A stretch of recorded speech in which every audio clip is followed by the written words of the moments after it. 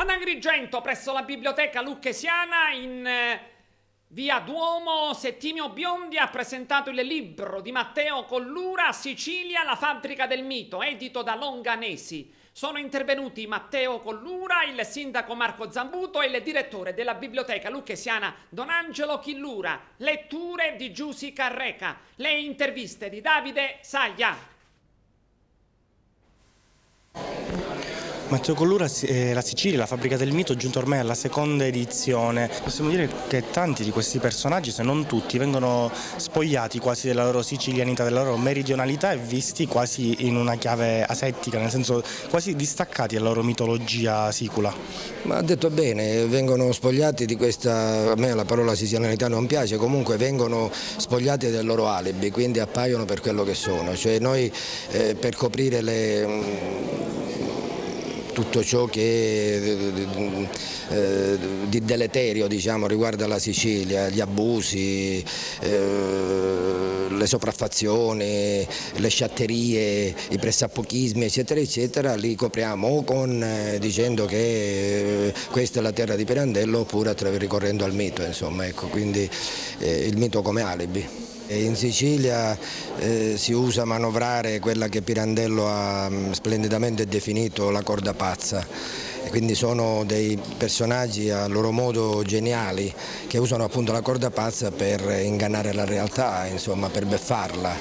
E risultano personaggi sotto certi aspetti eccezionali, sotto altri sconcertanti. Ecco, questo libro cerca di raccontarne le vicende mm, muovendosi, muovendo il filo conduttore che è quello del mito, il mito come, come eh, nostra eh, giustificazione storica, diciamo, ma anche come, come, alibi, il mito come scusa, diciamo, come, anche quello come una, una, una, uno strumento diciamo, inventato di sana pianta per eh, coprire la realtà, per beffarla. Ecco, il, la discriminante delle letture che il viatico deve accompagnare ogni lettore è quello di sapere distinguere che cosa è mito da che cosa non è mito, o meglio che cosa è il mito in senso tecnico e culturale da che cosa invece è un mito creato dalla ragione o dalle ragioni, la ragione di Stato, la ragione politica, la ragione degli interessi eccetera eccetera.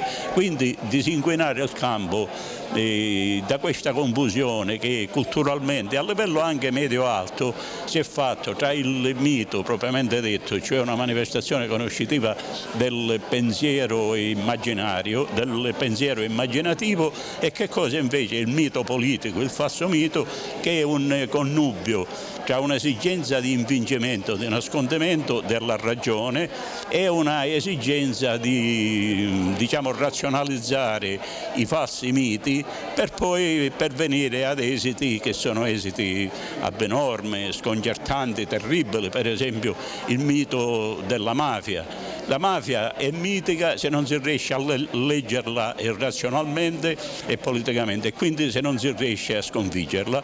Quindi noi diciamo miti di quelle cose che non vogliamo sconfiggere.